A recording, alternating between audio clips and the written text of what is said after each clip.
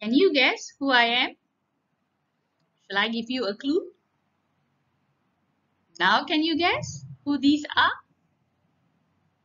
Yes, they are the cells responsible for sexual reproduction in humans.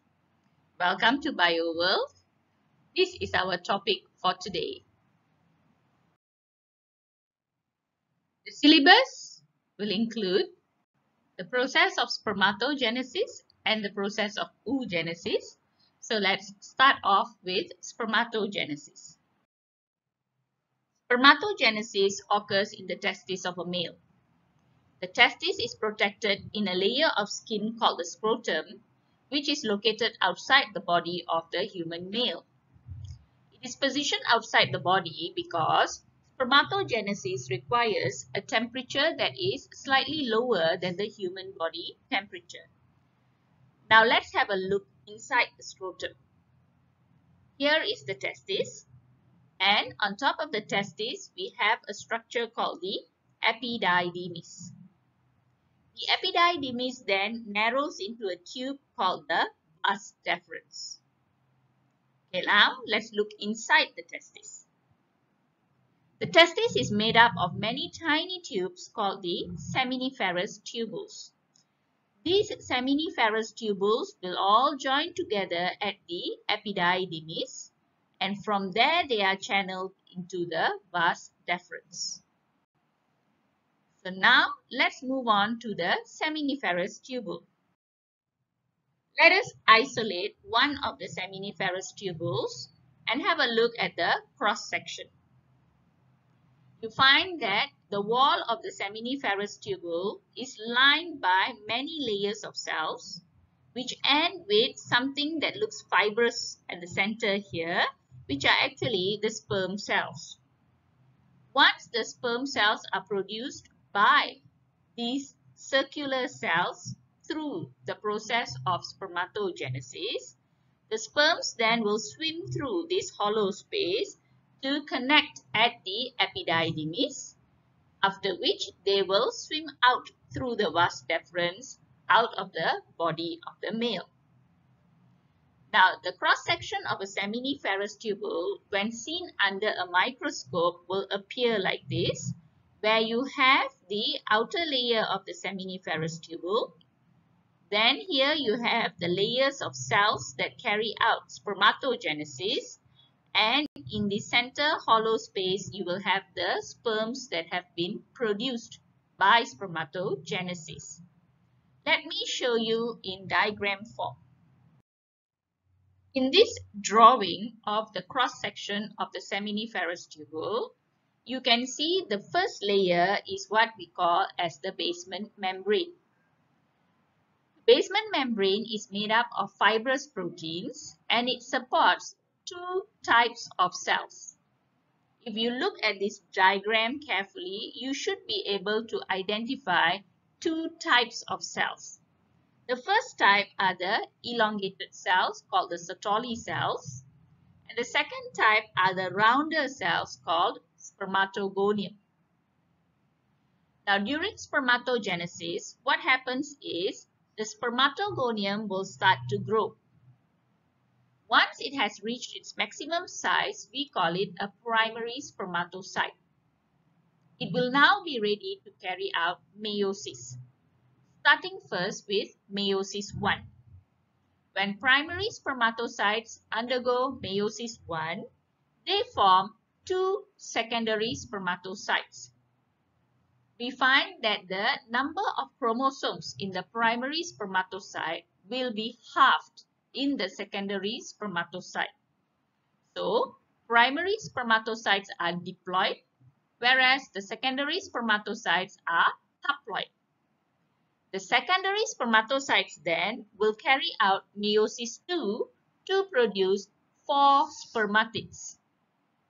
The number of chromosomes are the same as the number of chromosomes in the secondary spermatocyte. So, the secondary spermatocyte is haploid. The spermatid is also haploid. Spermatid then will experience differentiation, whereby there will be a change in its structure where it will start to develop flagella. Once it has taken this shape, it is called the spermatozoa or in short, we call it the sperm. Now, these sperms require a lot of glucose to generate ATP to enable them to swim. So, these cells will obtain their glucose from the Sertoli cells. So, this whole process that has just been explained is spermatogenesis. The process takes 74 days to complete and occurs in the male from the moment of puberty that is about 15 years old till the death of the male. So that completes the story of spermatogenesis. Now let's move on to the story of oogenesis. Oogenesis occurs in the ovary of a female. Let's have a look at the reproductive system of the female. This ovum is synthesized in the ovary through oogenesis and then it will travel along the oviduct also known as the fallopian tube, into the uterus. Let's have a closer look at the ovary. Now, if we view the cross-section of the ovary under a microscope, this is what we would be able to see, where you can see there are many circular structures called follicles. To explain about these follicles, let me use a diagram of the ovary. Production of ovum by the ovary is known as oogenesis and the changes that happen to the ovary during oogenesis is known as the ovarian cycle. Now, oogenesis in the female occurs when she is already a fetus in her mother's womb. The ovary of the female fetus will contain cells called oogonium which will grow into primary oocytes. So, when a baby girl is born, her ovary will contain a fixed number of primary oocytes. Now, you can see in this picture here that the primary oocyte is surrounded by smaller cells. The smaller cells are called follicle cells. So, a primary oocyte that is surrounded by follicle cells is called a primary follicle. Now, as the little girl grows up, the primary oocyte will remain dormant or inactive until she reaches puberty. Once she reaches puberty, the primary oocyte will do meiosis 1 to become a secondary oocyte. The secondary oocyte is still surrounded by follicular cells, so it is also known as the secondary follicle. The secondary follicle then begins to expand and grow, becoming what is known as a Graafian follicle. Inside the Graafian follicle, the secondary oocyte is still present. Once the Graafian follicle has reached its maximum size, the Graafian follicle will rupture, releasing the secondary oocyte into the fallopian tube. The leftover parts of the Graafian follicle will shrink to form what is called the corpus luteum. After some time, the corpus luteum shrinks further and becomes a corpus albicans.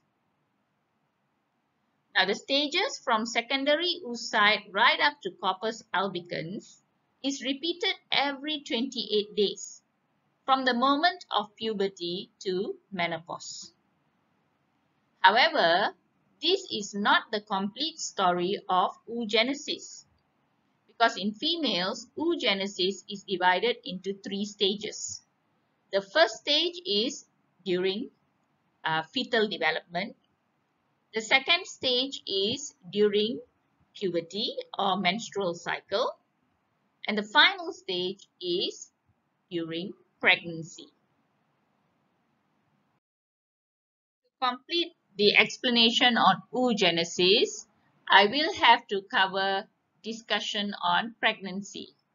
But before I can discuss pregnancy, I would like to explain the role of hormones in the female menstrual cycle, which will be my discussion in the next video. So I'll see you then. Bye bye.